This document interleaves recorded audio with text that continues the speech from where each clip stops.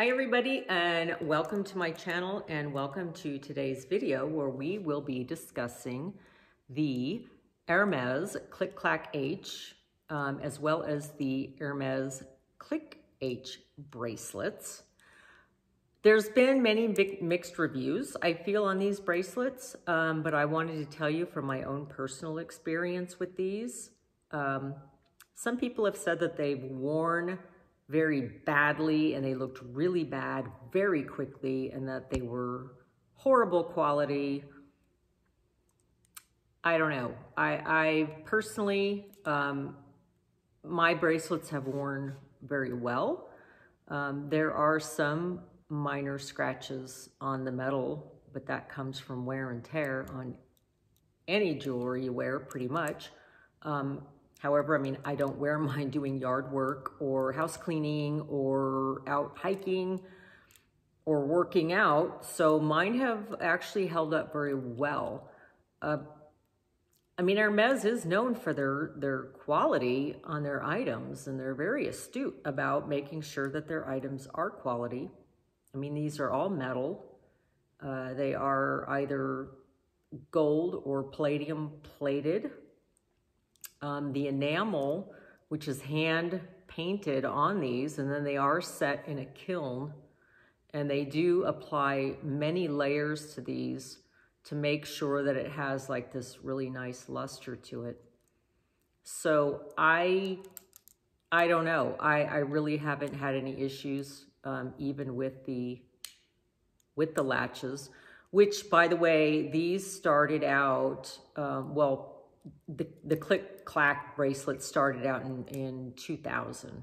Um, I think it was 1976 that Hermes actually started doing enamel. But they were just called the H bracelet. But people who were purchasing them uh, started calling them the click clack bracelet. And that is because you hear the click and the clack. So the click H bracelet is actually these, the smaller ones right here. They are more narrow and um, they're just the smaller version. And these are the Click H. The larger ones are the Click Clack H. And all their bracelets in these come in a, in a PM and a GM. PMs are usually seven and a half inches, but if you go on Hermes's website, you'll notice that some PMs are 6.7 inches. GMs are normally an eight.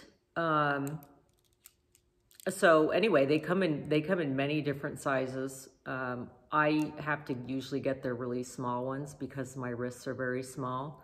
Um, this one I actually purchased uh, pre-loved in a boutique in, in Florida, and it's held up extremely well. I love it. This one um, came from The Real Real, also pre-loved great condition.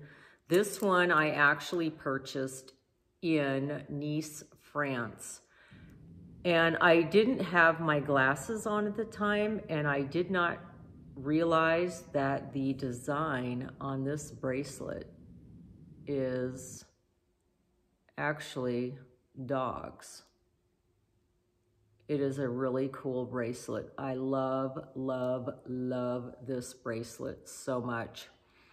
Um, as for um, collecting these, I love them. I think they're very versatile. I think they're functional. They're easy and comfortable to wear.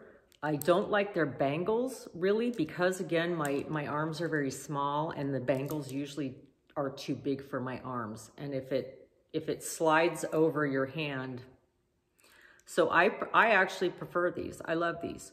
Um, I would, however, say that uh, in the future, I get they come in like a hundred different colors.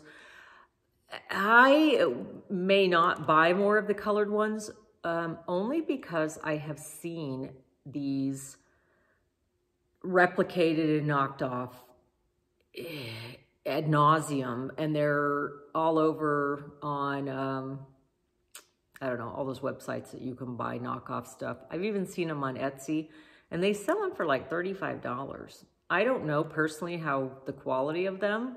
Um, so I don't know, it kind of takes a little bit of that, I don't know, that sparkle from it, that zhuzh, now that you know that there's so many out there that are kind of knockoffs. I do, however, love uh, their designs on some of them, like uh, this one I have, which is actually the Leque, the Leque. My French is horrible. Um, this one is stunning. And this one, rather than an H, you just see it has this design right here, but it closes the same way. And this one has beautiful enamel design with the horses on it. This one I, I love as well. I got this one also on the Real Real. If you look on the pre-loved market, you can find these bracelets at decent uh, prices. I mean, you're not going to find them real cheap because they hold their value. There is like a cult following of these bracelets. So you will find them uh, less expensive. I believe right now these on Hermes are running about seven, 760 maybe. And these are around in the 600 range. So again, go in the pre-love market because that way, if it already has a few scratches on it, you're not going to die and be devastated once you scratch your brand new bracelet that you paid so much money for. It already has a scratch, so it's no big deal. It's already broken in for you, so to speak.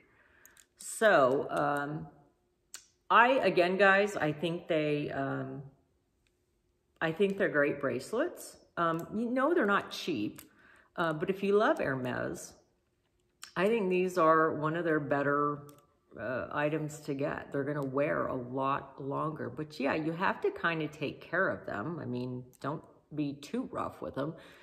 And they'll last you a long time. And the other thing is you can you can stack them together. You can wear multiples. They're very versatile in my opinion. So um, anyway, guys, I uh, I like them. I think they wear fine. And if you want to uh, if you are on the fence about whether to get one or not, I hope this helps. Again, I'd probably maybe try to find ones with the design. I think they're really more unique and really have a lot more character to them. And they won't be knocking these off because it's going to be a lot harder for them to knock something like this off and more expensive than this. These are really easy, whereas these, eh, not so much. So I hope that helped. Um, it, making your decision on these. And um, yeah, that's it for now. Don't forget, guys, to like and subscribe. And let me know in the comments below whether you like these videos. And I will um, share more of uh, Hermes items with you. And until next time, guys, then I will talk to you later. Thanks. Bye.